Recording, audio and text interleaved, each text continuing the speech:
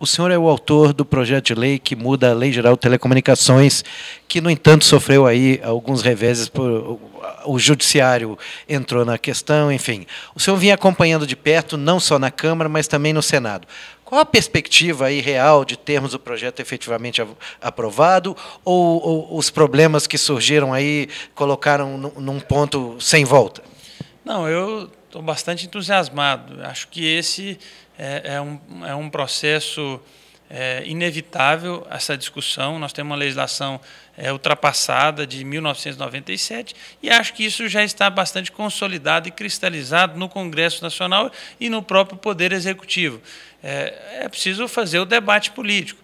Essa situação que foi criada através de uma liminar do Supremo, ela trata única e exclusivamente sobre o recurso que foi interposto pelos senadores. A minha opinião é de que, já que há questionamentos da tramitação, que se faça o debate no plenário. O projeto ele é, é meritório, é um debate é, é extremamente positivo, é uma reforma microeconômica do Brasil. Para esse momento de crise, inclusive, ele se faz necessário essa discussão. Eu tenho trabalhado junto com o presidente Eunício, com o líder do governo, para que a gente possa, o mais rápido possível, é, é, fazer esse debate e, consequentemente, retirar todas as dúvidas que pairam sobre o projeto.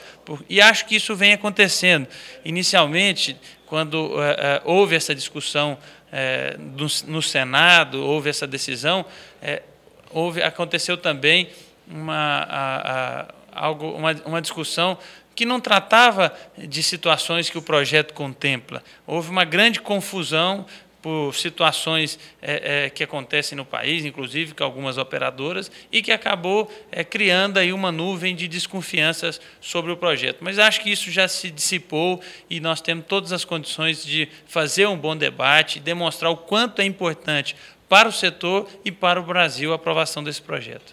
Existe nessa avaliação política lá no Senado a possibilidade de que haja alguma alteração que volte para a Câmara? Em que, em, eh, como é que está essa discussão específica sobre alterar alguns pontos, inclusive aquela emenda de redação, que há alguma controvérsia do que foi mexido no Senado?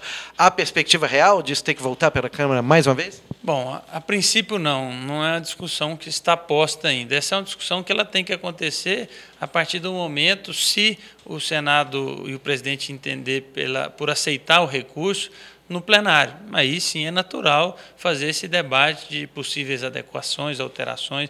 O nosso entendimento é que esse projeto ele está maduro, ele foi feito um debate é, e uma construção com várias mãos, inclusive com todos os atores importantes e competentes da, do Poder Executivo, Ministério da Fazenda, Ministério das Comunicações, Ministério do Planejamento e a própria Anatel. Portanto, eu acho que ele está maduro, ele está bem arredondado para ser aprovado, mas é lógico que eh, a qualquer momento pode surgir indagações, pode é, surgir sugestões né, que, que contribuam com o projeto, com o setor, e aí eu não vejo dificuldade também em alterar. Mas momentaneamente não vejo essa discussão.